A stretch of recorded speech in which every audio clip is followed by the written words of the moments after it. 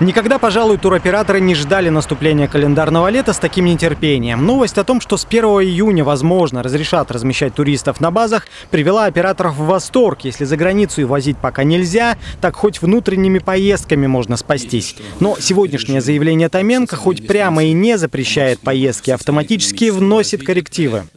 Пока устойчивой тенденции не наметится по снижению случаев заболевания – вот когда мы с вами устойчиво ниже 40 человек будем иметь этот показатель устойчиво, то есть в течение хотя бы недели, только после этого действующий режим ограничений мы сможем изменять. В Алтайской ассоциации туроператоров признались, что на 1 июня по-прежнему смотрят с надеждой, но ситуация меняется буквально ежедневно. Так что терпеливо ждут, напоминая, система размещения туристов на Алтае довольно безопасна в период пандемии. Что касается требований Роспотребнадзора, специфика нашего регионального рынка, регионального туристического рынка такова, что мы э, достаточно комфортно можем обеспечить э, пребывание гостей с соблюдением социальной дистанции, э, перемещать их маленькими группами и для того, чтобы обеспечить все необходимые требования. В надежде на лучшее представители туротрасли на низком старте. Так, в курортах Белокурихи на лето продали больше половины путевок и надеются первыми начать принимать гостей.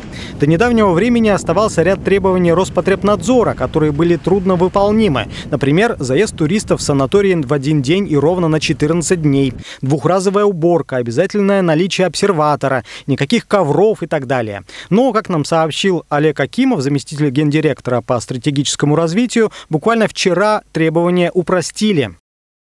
Достаточно большой документ, 7 листов, все расписано по пунктам.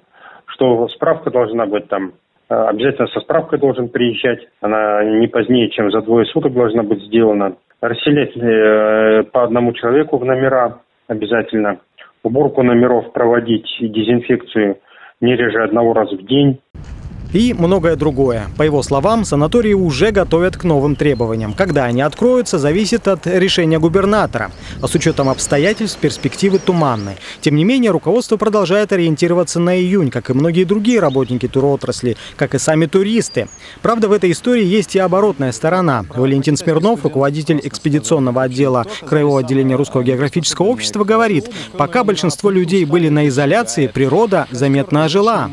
Многие специалисты отмечают, что, в принципе, вот уже даже за такой короткий вроде бы период, вот всего там месяц, да, вот отдыха для природы, наблюдается уже какие-то маленькие-маленькие улучшения. То есть где-то, например, стало чище, где-то стало спокойнее просто, где-то рыба появилась вот в тех местах, где ее не видели, там, может быть, лет 10 даже такие вот случаи фиксируются. Где-то звери, звери начали выходить.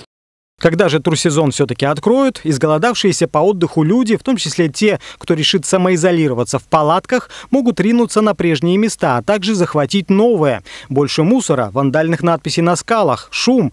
Это может стать сильнейшим ударом по природе. И как это проконтролировать, сказать пока очень сложно. Илья Кочетков, Илья Халяпин. День с толком.